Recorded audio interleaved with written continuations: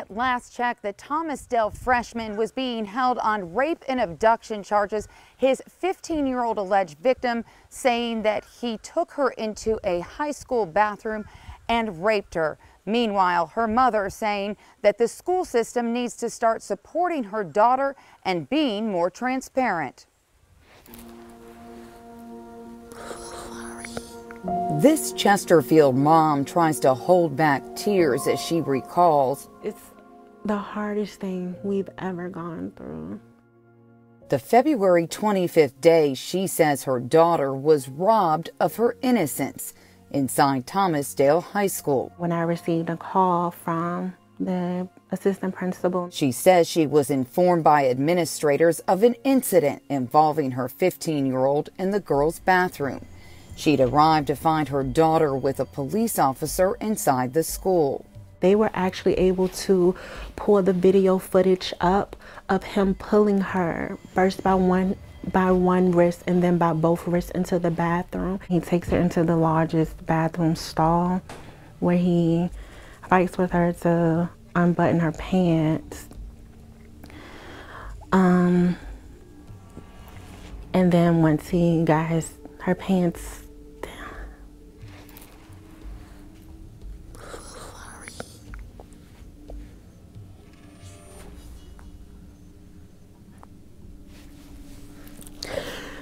once he got her pants down, he like forced himself in her. Luckily, the bell rang and she said, he says, oh, S word, and tells her not to tell anybody and runs out the bathroom. Investigators say the alleged victim was forced into the bathroom by a known 15 year old male, where she was sexually assaulted. She was then taken to St. Mary's Hospital, where she underwent a forensic examination and was treated for potential sexually transmitted diseases. They did like an exam of her vaginally. It looked like a lot of pictures.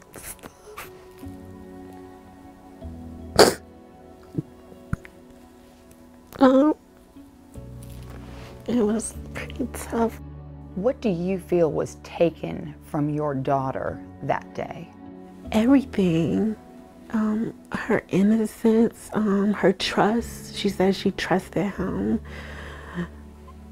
I would even say the trust for the school was taken. Um, they still aren't reaching out um, like I feel as though they should.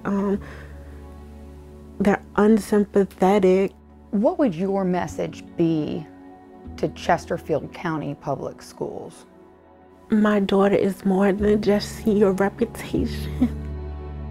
Seems like they don't care. We reach out to the Chesterfield County Public School System for comment. They said, quote, the school division has been in continuous contact with Chesterfield police throughout their investigation. These are very serious charges and the school division takes very seriously our responsibility to provide a safe and supportive learning environment. Students who violate student regulations are subject to suspension or expulsion and if the offense is a violation of the law to prosecution. We also asked why parents weren't immediately contacted after this February 25th incident. The school system did send us communication that was sent out at 1047 this morning.